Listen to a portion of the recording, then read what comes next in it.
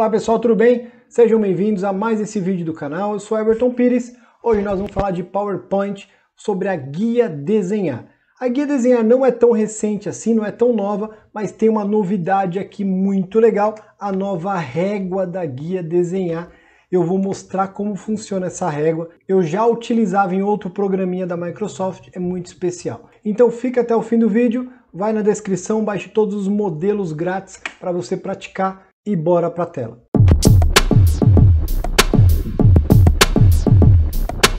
A guia desenhar é muito interessante, não só no PowerPoint, mas no Word, Excel, alguns programas da Microsoft. E a função dessa guia é exatamente permitir que o usuário faça rabiscos, desenhos e outras possibilidades direto na tela. É muito fácil de utilizar. Antes de começar a falar dessa guia, a gente precisa ter a guia habilitada. Eu falo isso porque, como padrão, a guia desenhar não vem habilitada. E se você não tiver essa guia, vem em arquivo, opções, personalizar faixa de opções. E aqui do lado direito nós temos todos os grupos, guias, comandos que nós temos na tela. E tem aqui, ó, guia desenhar. Se você não tiver marcado, basta marcar e pressionar OK é você vai ter a guia desenhar habilitada. Com a guia desenhar habilitada, agora é hora de aprender a utilizar esses comandos.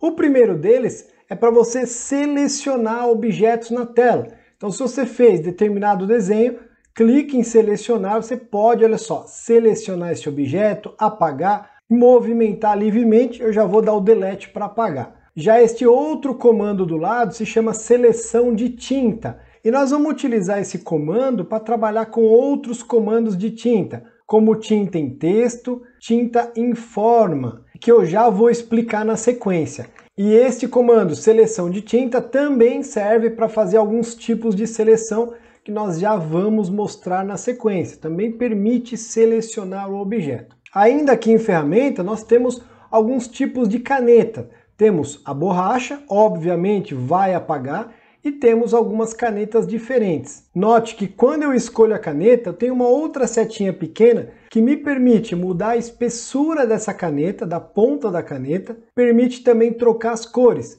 Eu tenho as cores padrão, tenho texturas e ainda posso escolher mais cores para personalizar. Então não vai ser por falta de cor que você vai ficar triste. Temos a outra caneta verde, mesma coisa. Posso mudar a espessura, mudar de cor e ela tem uma forma um pouco diferente essa caneta. Ainda temos o marca-texto, bem legal para quando a gente tem texto no projeto. Mesma coisa, posso trocar cor, posso mudar a espessura da ponta da caneta. Logo ao lado do marca-texto, nós temos uma novidade, que é a régua. Eu já utilizava essa régua em outro programa que se chama Captura e Esboço, porque eu faço muito artigo e eu estou sempre fazendo recortes, marcações para os artigos. E esta régua é muito especial. Quando eu clico em régua, olha o que acontece. Vai surgir a régua na tela, exatamente a régua. E ela funciona muito bem. Basta eu escolher a caneta e eu posso desenhar sobre a régua tranquilamente. Primeira dúvida que surge aqui é como mudar a posição da régua. Para mudar o ângulo da régua, você tem que estar posicionado na régua, o cursor tem que estar aqui dentro e vai utilizar o scroll do mouse. Olha isso, você vai mudando o ângulo da régua. Isso é muito especial agora aqui no PowerPoint. Antes eu tinha no Captura Esboço, que também é da Microsoft. É esse ícone aqui, ó, para quem tem curiosidade, captura esboço.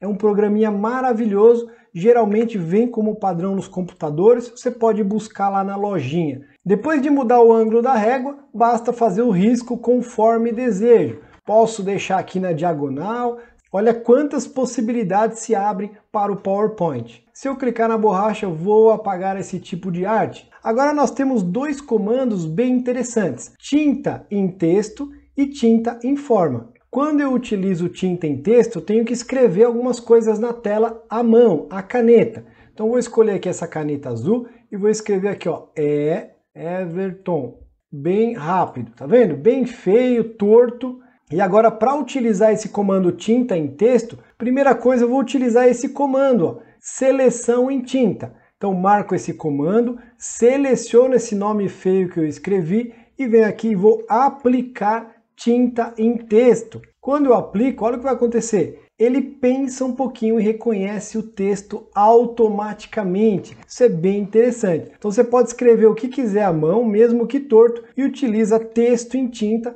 para transformar em palavras, em letras normais. Agora eu vou apagar esse objeto e da mesma forma eu posso utilizar tinta em forma, igualzinho eu posso criar formas na tela. Então eu escolho uma caneta, vou criar aqui ó, um retângulo bem feio, depois vou criar uma elipse que parece mais uma batata torta e também o que? Um quadrado. Vamos ver se vai dar certo. Depois de fazer esses desenhos, eu venho aqui em seleção de tinta, sempre lembrar de utilizar esta seleção quando for utilizar tinta em texto, tinta em forma. Com a seleção de tinta eu vou fazer o que? Seleciono esse objeto, por exemplo, o quadrado. Agora eu venho tinta em forma, o PowerPoint faz um reconhecimento, transforma em um objeto perfeito. Mesma coisa, seleção de tinta, seleciono o triângulo e clico no comando tinta em forma. Ele vai pensar rapidinho. Nesse caso, eu acho que eu fiz tão feio que não reconheceu, vamos tentar a elipse. Seleciono a elipse, tinta em forma.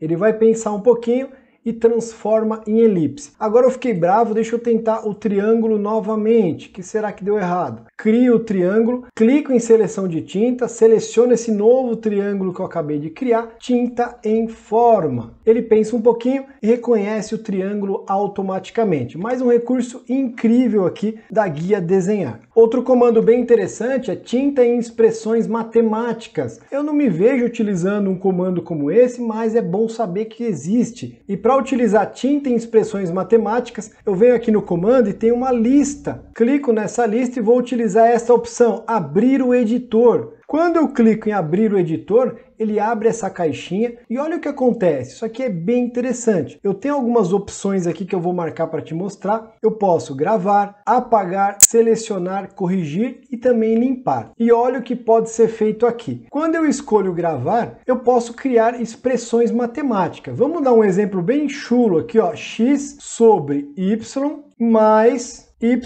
sobre x. Na verdade, meu y ficou igual ao x. Você pode criar uma expressão e depois de pronta você vai inserir. Se você precisar apagar, você vai utilizar borracha de forma bem simples. Nesse caso, vou apagar o mais também. Você poderia utilizar selecionar e corrigir, e nesse caso é legal porque ele te oferece algumas sugestões de substituição. Aí você vai selecionar a arte que você fez, no caso a expressão, e vai surgir automaticamente algumas possibilidades de substituição. Nesse caso, eu não quero.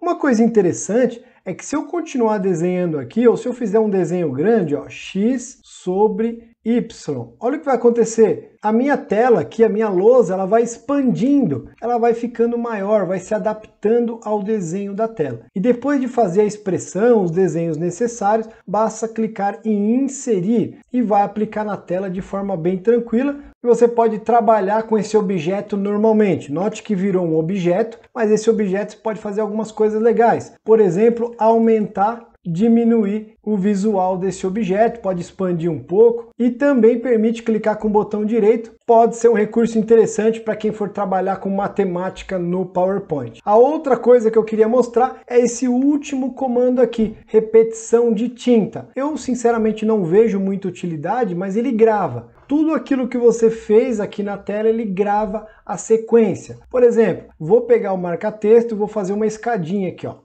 Vou fazer uma sequência, vou pintar essa escada aqui com o marca-texto. Se eu pressionar o comando repetição de tinta, olha o que vai acontecer. Ele abre uma espécie de vídeo de editor e mostra a sequência que você fez. Como eu disse, eu ainda não sei como utilizar, mas ele faz aí essa sequência, ele mostra o passo a passo do que você aplicou na tela. É esse o nosso vídeo de hoje. Espero que você tenha gostado, seja muito útil. Se tiver dúvida, crítica, sugestão, deixa no comentário, eu vou gostar muito de responder. Grande abraço, sucesso e até o próximo vídeo.